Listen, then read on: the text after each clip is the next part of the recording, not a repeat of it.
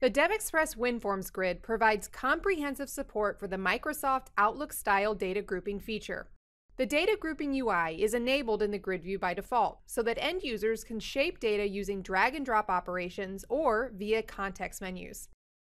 If required, you can use the grid controls options to disable data grouping for a particular column or the entire view. You can apply data grouping at design time using the same operations as at runtime or via the property grid. By using the grid views options, you can additionally control the following data representation aspects. Use predefined value ranges to group data, anchor group rows to the top of the view when scrolling large data groups, change the group row paint style, and automatically expand group rows. There's more than one way to apply data grouping to your grid in code.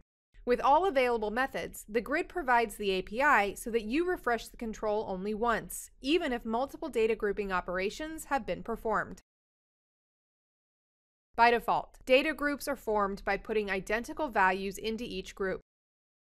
But sometimes you need to implement your own logic, which is done using the custom column group event. For example, you can handle this event in order to change a numeric column's data grouping logic so that groups contain ranges of values starting with 0 to 99.99, then 100 to 199.99, and so on.